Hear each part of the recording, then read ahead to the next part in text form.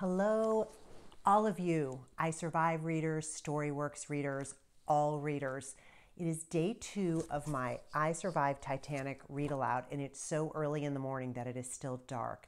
But I wanted to make sure that I got this read aloud in for you. And um, yesterday I read chapters one and two. And you know, it's been 10 years since I wrote this first I Survived book, which I really can't believe. And I was thinking to myself, why is the Titanic so fascinating? I want you to ask yourselves that. Like, why are we so interested in a ship that sank more than 100 years ago? Um, and it's still one of the most pop it's still one of my most popular books it's still one of the most popular topics that anyone researches and so that's a question i want you to think about what about this story keeps its grip on our curiosity and our mind so that's what's going through my mind as i'm reading this book and I want you to ask yourself that question. So, by the way, I have to add that I am reading this because my beloved friends at Scholastic, who is my publisher, say it's okay for me to read my book to you right now on video. So, here I go. Here is chapter three. If you haven't been catching up, go back and read the video right before. Chapter three. George didn't mean to get into trouble. It's just that he got these great ideas, like on their first day at sea when he had climbed up the huge ladder into the crow's nest. Aunt Daisy, he'd yelled, waving his arms. She'd looked up and she'd almost fainted. And yesterday, George had explored the entire ship.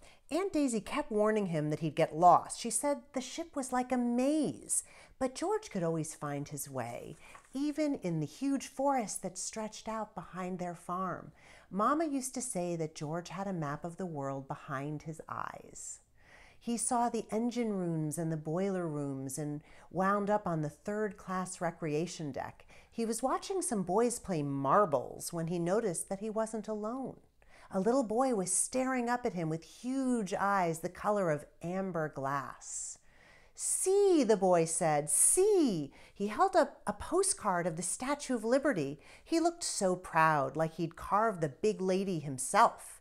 George felt like he had to show something in return, so he took out his good luck charm, the Bowie knife, that the Bowie knife Papa had given him for his ninth birthday.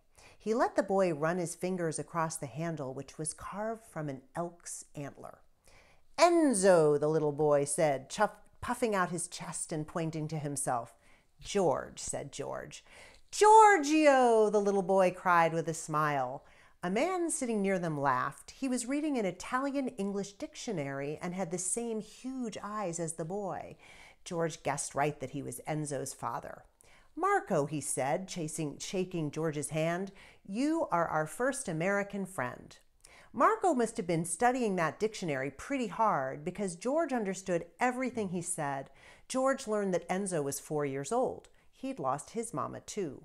He and Marco came from a little town in Italy and now they were moving to New York City. Marco to- George told Marco about their farm and their trip and explained that any decent person person living in New York had to be a Giants fan. For some reason Marco thought that was funny. When it was time for George to leave, Enzo got upset. Very upset. Giorgio, he howled loud enough for the entire ship to hear. People stared and put their hands over their ears. Marco promised they'd see George again, but Enzo wouldn't quit howling. George had never heard anything so loud.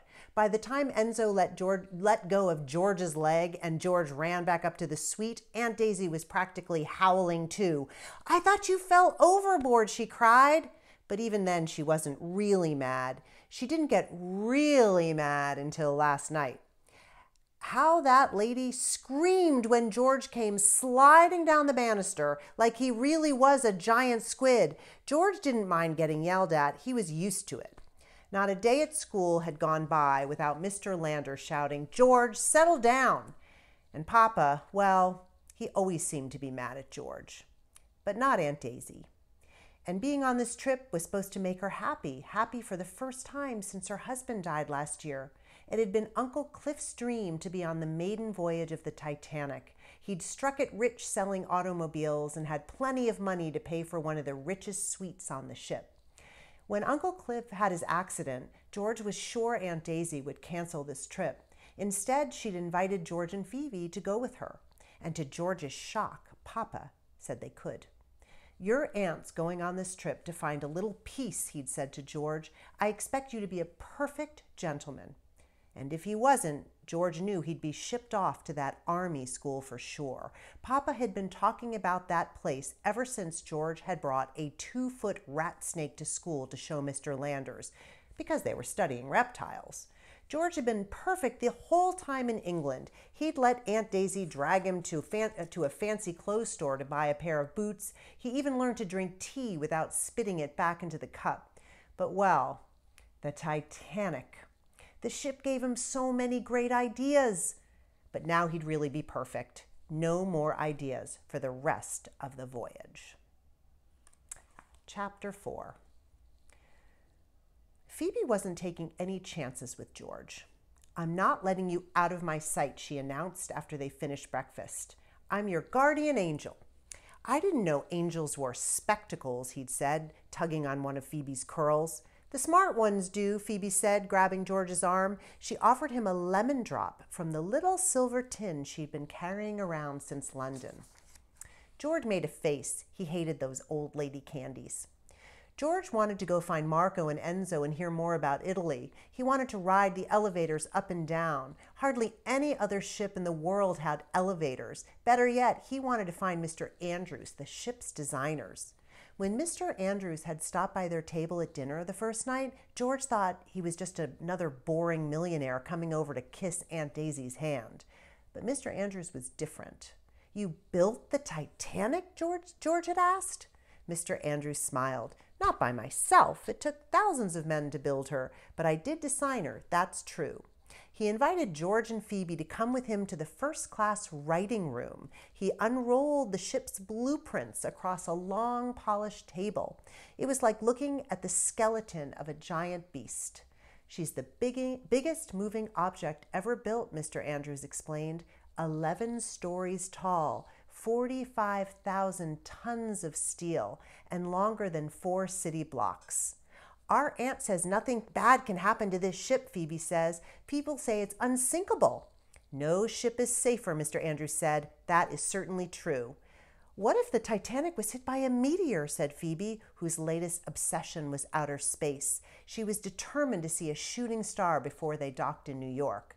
Mr. Andrews didn't laugh or roll his eyes like Mr. Landers did when Phoebe asked her questions at school.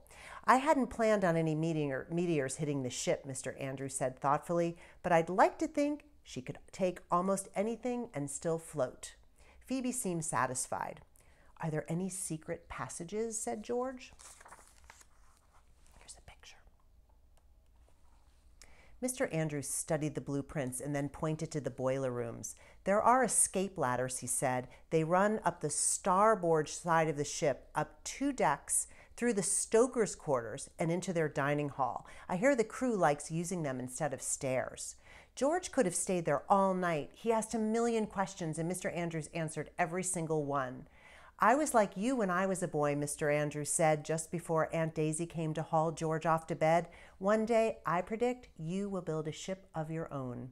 George knew that would never happen. He could barely get through a day of school, but he liked that Mr. Andrews said it, and he, was he sure did want to find those secret ladders. But Phoebe had different ideas. First, she dragged George to the first class library so she could check out a book on Halley's Comet. Then she took him out on a walk on the boat deck he felt like a dog. Strange, Phoebe said, looking at the lifeboats that hung just off the, the deck. There are only 16 boats. That's not nearly enough for everyone. The ship's unsinkable, George said. So do you really think we need lifeboats at all? Phoebe stared at the boats and shrugged. I guess you're right, she said. Then she announced that it was time to see how many ladies were wearing hats with blue feathers.